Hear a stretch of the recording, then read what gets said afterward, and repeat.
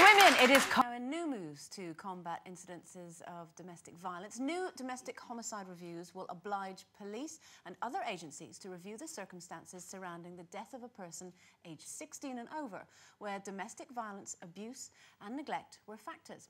Now, together with the police, health services, local authorities, probation teams, voluntary groups and any other bodies connected to a victim uh, will now have to work together to pinpoint exactly what went wrong and consider how to spot the signs when someone's life is in danger. So, Will this help uh, after another life has been lost? And if we ourselves spot the signs of abuse in others, do you think it's our duty to intervene? Um, yes, I think it is our duty to intervene. Whether you can make somebody change their life is another matter. I think it's brilliant. I think if, if, we're, if they're looking into reasons why domestic violence is, is resulting in death, I welcome it. I think it's, it's really, they should review it anyway. And it's interesting to me that there's been a rise in the number of young people affected by domestic violence because in my life, I, I was in a, a physically abusive relationship when I was very young. And, and when you're that sort of age, you don't tell your parents. What, what do you class as very young? Um, 17. Um, and and I and I don't I don't know how anybody any of the agencies could have helped me on my way but but what what I did was I kept it from my mum because I didn't want to worry her in fact she only found out very recently that it had actually been going on but I had sort of um, it resulted in, you know, he was he was aggressive and he did actually beat me up. Um, but, there, but there was one particular thing that happened where he had a sunray lamp and I asked how to use it and he knew that it could only be used for a certain amount of time, but didn't tell me.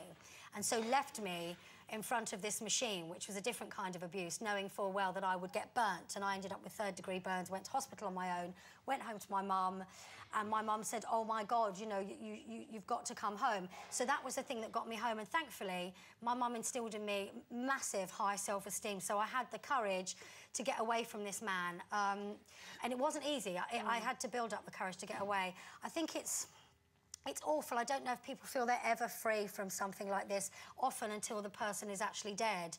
Um, you know, and the options of, of getting away from an abusive partner are, are, are very limited. I wonder, looking at it after the event, how much that can actually do because mm. people tend not to involve outsiders. You keep it a secret. I did.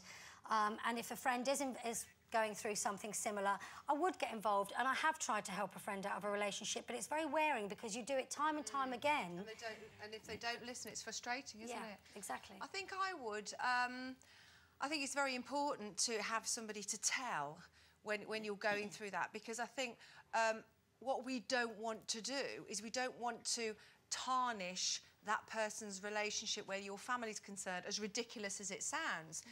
You know, you protect, I, you, you protect them. And, you know, it, it is weird. I've had quite, I've had violent relationships, and there, and there was one particular, I was quite young, and I didn't see it at the time as abuse. I would say that would be very dramatic for me to say that, mm. because at the time, because I was brought up by my, by my father to always fight back, you know, if I got a smack, um, I, would fight back. So it'd end up in a physical fight between between the two of us. So I always thought that that wasn't abuse and until one time. They show remorse as well. When they do these well, things, they yes. actually show that they know well, exactly, that they're bad. Exactly. Uh, but there was just the one time when I actually felt, I felt some, I felt different and I felt, I hadn't actually done anything. We were having an argument and he just turned out, uh, turned around and absolutely punched me so hard I was black and blue in my shoulder and I actually couldn't move it for a week.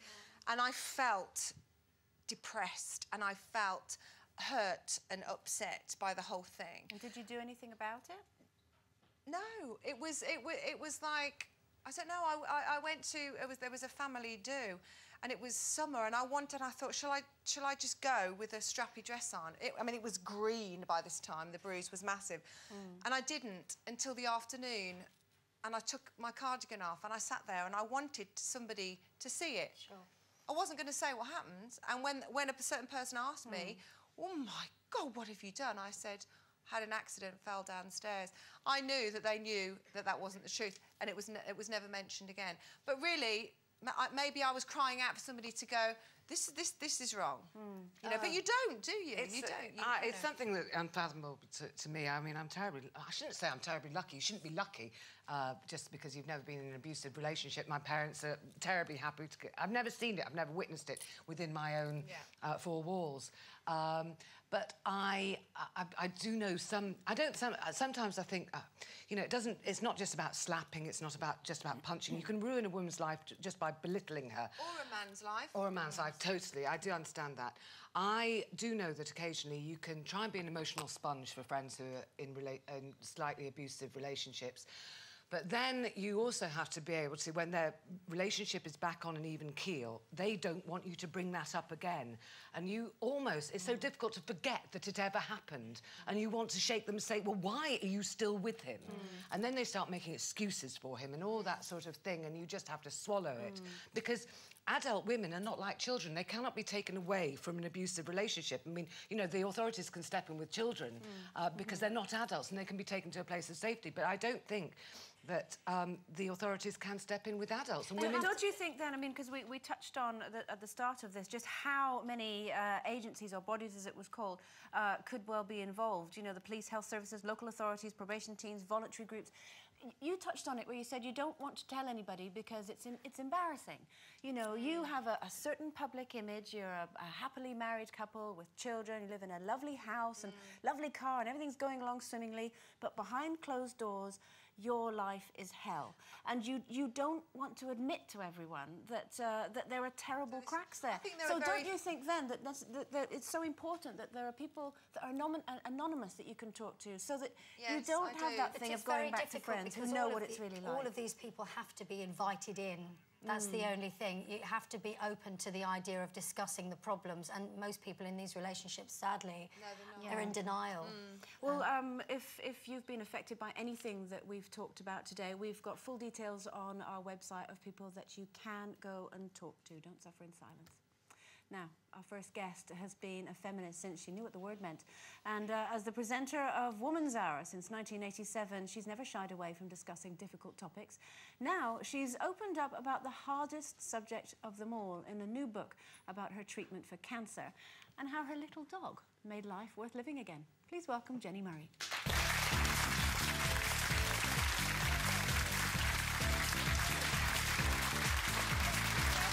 I will watch myself. Hello. Wait. Nice to meet you. Hello, hello. I'm fine. look incredibly well. Thank you so much. They look well. Well, I'll do you know, best. loose women, woman's hour, hardly a difference. What do you think, Well, no, it was interesting what you were talking about a moment ago Yes. because I interviewed yesterday Graham Mullane, who is the brother of Julia Pemberton, who was shot by her violent husband, as was his nephew. And he is the person who has really put the pressure on for this kind of review to happen. Because, you know, he says what you learn from looking at the mistakes that were made in a case like his sister's may well save the Do, life do you mean in, of in terms woman in of, of uh, Well, the you know, he- getting involved sooner he, or he knows, claims more seriously? He knows that, that she contacted the police Yeah. a couple of times and mistakes were made. And so by reviewing what happened then, mm-hmm. you will learn It could also give you legal result. recourse as well. If you if the police were involved and nothing happened, if you want to go back and get some form of justice, maybe you can say, well, look, on four occasions the police came and nothing. You know what I mean? It could give you mm. some kind of legal recourse. Yeah, but- she was dead, unfortunately.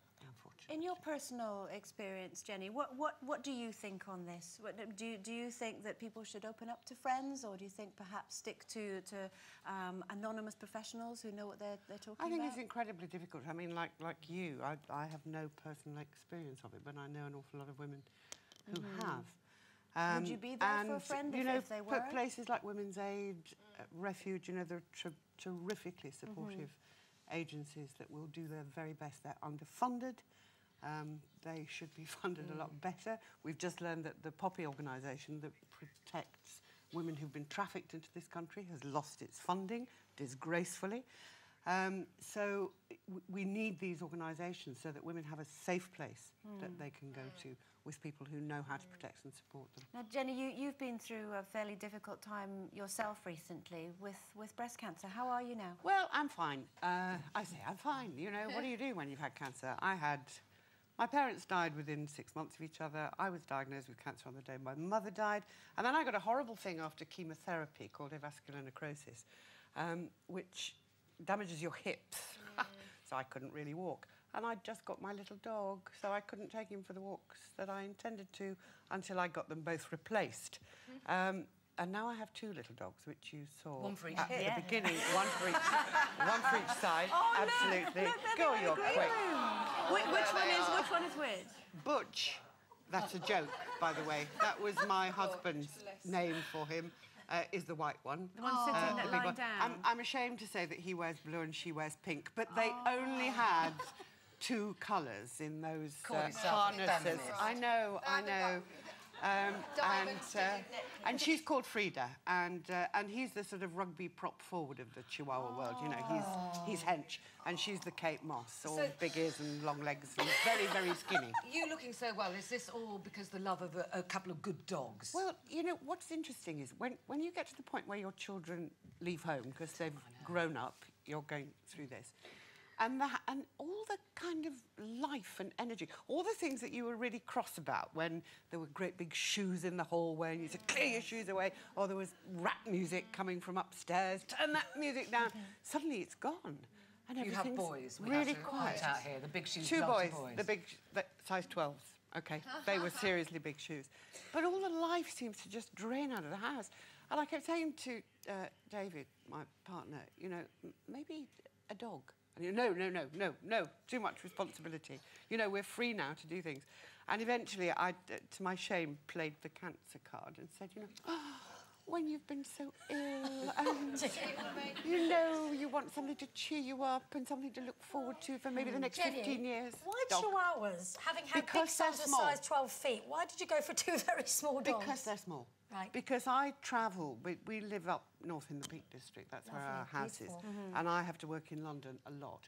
So I needed a dog that was easy to transport, and as you can see, they are. They are. They don't go in a bag, by the way. Well, I do know- not approve of dogs being carried in bags. this, this is something that really struck me because you're you're you're such an institution. You're you know an, an intelligent, feisty, feminist woman who presents Woman's Hour, and you've got two little chihuahuas. It just it Why would a woman like a, me have a rat on a string, eh? That's what such a juxtaposition. Because what the other thing I wanted to do in this book, apart from discussing the relationship with a dog, which is so And this is warm here, my and boy satisfying, is that you know people treat chihuahuas as toys. They are not toys. They are dogs. He is the toughest little guard dog you could hope to have. Jenni, can I can I just say I, I I was away at the weekend and I read that book from from from the beginning to the end and I get you.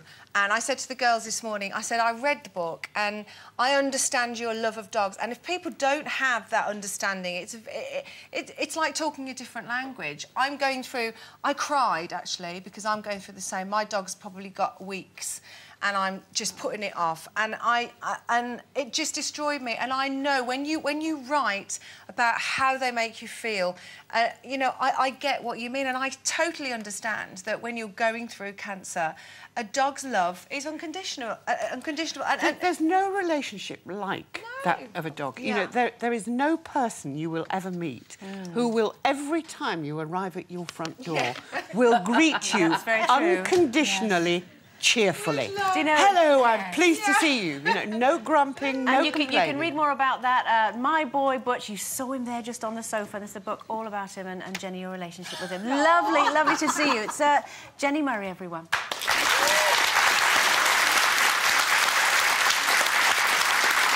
Okay, it's a break time, but when we come back, which of us is proud to, proud to wear our Scrooge head, as in we're being penny pinchers, as early as spring? Back soon.